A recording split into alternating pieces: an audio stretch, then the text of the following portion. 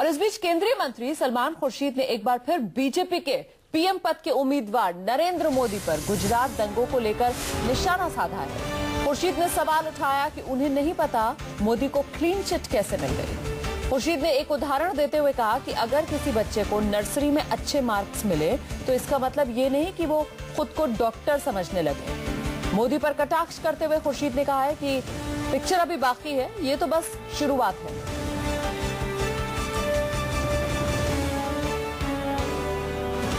मोदी जी को किस अपील में और किस कोर्ट ने कोई क्लीन चिट दी है, मैं नहीं जानता। मैं नहीं जानता। समन्स उनको एक कोर्ट ने मैजिस्ट्रेट के कोर्ट ने समन्स उनको भेजने से इनकार किया। ये ठीक है। इसी को लेकर इतनी बड़ी बात कर रहे हैं। किसी बच्चे को नर्सरी में नर्सरी में सही सही अंक मिल गए तो वो अपने आप को डॉक्टर समझ रहा है और पीएचडी लिए फिर रहा है? ऐसे कैसे हो सकता है?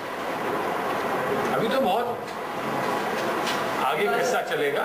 अभी तो पिक्चर बाकी है है ना? लेकिन वो किस बात का, किस बात का बखान कर रहे हैं? इस बात का कि 117 लोगों को आजीवन कारावास की सजा हुई है गुजरात में।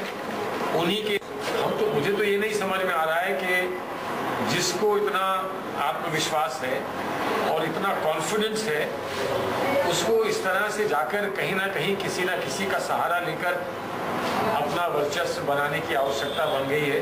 मुझे इस पर आश्चर्य होता है। और जब फिर उसका खंडन आता है तो कहते हैं कि हमें विकीलीग से सर्टिफिकेट की आवश्यकता नहीं अरे नहीं तो फिर लिया क्यों था? ये पोस्टर पे कांग्रेस ने लगाए थे। पोस्टर उन्होंने ही लगाए थे, अगर लगाए थे तो ये मान के लगाया होगा कि हम उनसे सर्टिफिकेट ले रहे हैं।